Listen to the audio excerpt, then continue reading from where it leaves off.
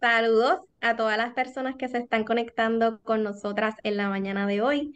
Mi nombre es Paola Arroyo Guzmán y yo soy la moderadora de estos espacios en microjuris que hemos creado junto al Poder Judicial para destacar y hablar sobre los temas más importantes para nuestra comunidad en tribunales al día.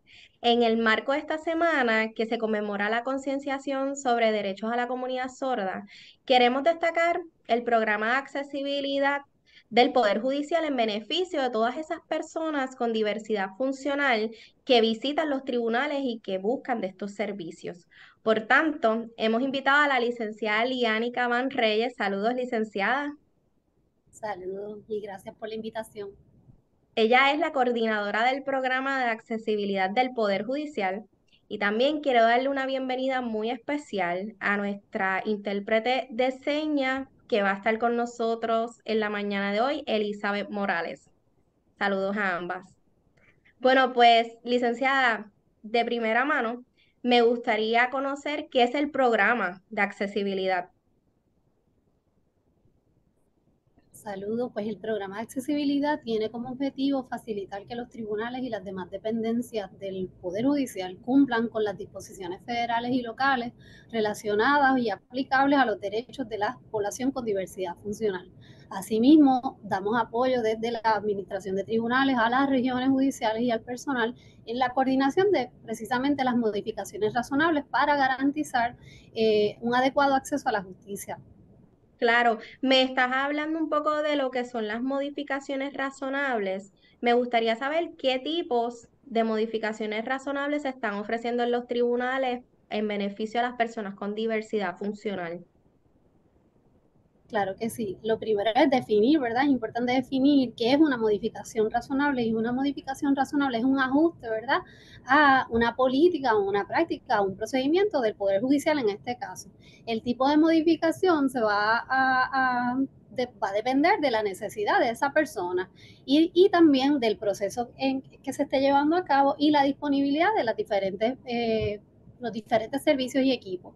Eh, lo más común, lo más típico en los tribunales es eh, precisamente los servicios de intérprete de lenguaje de señas para la comunidad sorda. Claro. Pero hay otras modificaciones. Eh, ay, disculpa.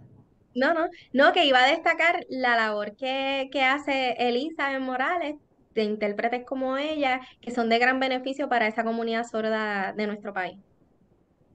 Sí, además de, por ejemplo, en este caso nos acompaña un intérprete de forma remota, pero en los procesos judiciales se ofrecen servicios de intérprete de forma presencial, también lo hacemos de forma remota eh, y también eh, podemos ofrecer otros tipos de servicios y equipos a la comunidad sorda o con pérdida auditiva, como son los equipos de amplificación de sonido, que cada vez son más utilizados en nuestros centros judiciales y en los tribunales periferales. Claro. Licenciada, ahora me gustaría hablar un poco sobre la ayuda. ¿Cómo usted puede describir esta ayuda del programa de accesibilidad? Pues entre las funciones del programa que fue creado en el 2019 está precisamente apoyar y asesorar a los directores ejecutivos que son esas eh, figuras en las regiones que dan apoyo precisamente administrativo eh, ayudarlos en el proceso de recibir y tramitar las solicitudes de modificaciones razonables, a pesar de que el servicio directo se ofrece en cada una de las regiones judiciales y en los tribunales periferales. En ocasiones pueden surgir consultas o pueden surgir eh, sí, algunas dudas sobre las modificaciones, los equipos que tenemos disponibles y en ese sentido es que el programa de accesibilidad da apoyo a las regiones judiciales. Así que también recomendamos equipos ¿verdad? La adquisición de equipos eh, y servicios auxiliares como los que mencioné, que son los equipos de amplificación de sonido. En el pasado teníamos menos equipos y ahora todos nuestros centros judiciales y tribunales periferales cuentan con equipos de amplificación de sonido para la población sorda que tiene pérdida auditiva, es decir, que todavía tiene un residuo auditivo y se benefician de un equipo de amplificación para escuchar mejor los procedimientos. Y también colaboramos con distintas dependencias del Poder Judicial para determinar las necesidades de adiestramiento. Es decir, damos apoyo a la Academia Judicial puertorriqueña para dar adiestramientos a los jueces y juezas eh, del Poder Judicial y también colaboramos con la Oficina de Capacitación y Evaluación y Desarrollo para dar adiestramientos a los funcionarios y funcionarias, así como alguaciles y alguacilas y guardianes del, del Poder Judicial.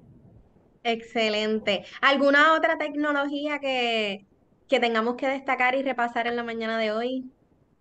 Tenemos otros equipos que son menos utilizados, eh, pero que han sido muy beneficiosos también para la comunidad sorda, ¿verdad? Sabemos que no todas las personas sordas se comunican mediante lenguaje de señas. Acabo de mencionar que hay personas que tienen pérdida auditiva y que solamente lo que necesitan es un equipo de amplificación de sonido que aumente, ¿verdad? Eh, el sonido valga la redundancia, pero hay personas sordas que pudiesen perder la audición más tarde en la vida y desconocen el lenguaje de señas. Para estas personas hay otros equipos, ¿verdad? Siempre y cuando dominen la lectura y la escritura, tenemos equipos disponibles como es el Ubiduo, es un equipo como tipo teclado, ¿verdad? Que brinda eh, acceso a las personas con retos de comunicación para comunicarse mediante la escritura en tiempo real. Es un equipo menos utilizado, pero sí lo hemos utilizado ya en varias regiones judiciales, en varios casos. Licenciada, antes de irnos, me gustaría repasar con usted, si es posible, ese proceso que a lo mejor tenga que pasar la persona para solicitar de estos servicios. ¿Hay algún protocolo que se tenga que seguir? La persona que necesita un acomodo razonable o un intérprete de lenguaje de señas, en este caso que estamos ¿verdad? conmemorando la Semana de los Derechos de la Comunidad Sorda, puede solicitarlo al tribunal a través de su abogado o abogada o directamente al juez o la jueza que atienda su caso.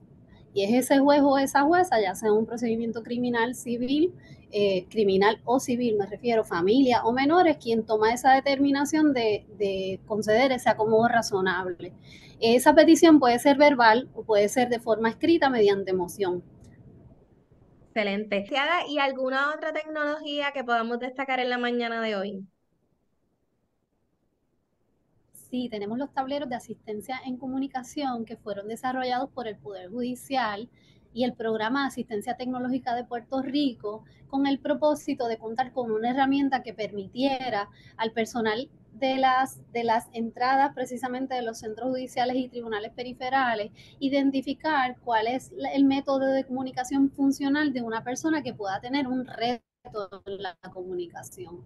Estos tableros están ubicados en las entradas de los centros judiciales y también en los tribunales periferales. Y precisamente lo que buscan es agilizar eh, cuál es, ¿verdad? Ese, ese momento de interacción inicial, cuál es la capacidad funcional de comunicación de esa persona para entonces proveerle el acomodo razonable. Y estos tableros pues, tenemos en todos los tribunales. Excelente. Pues muchísimas gracias a ambas, a Elizabeth, ¿verdad?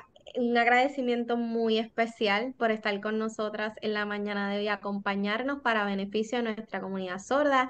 Licenciada, muchas gracias, ¿verdad? También a usted por su tiempo y por participar de tribunales al, al día. Espero que se repita. A ustedes siempre a la orden. Gracias por la invitación. Hasta la próxima.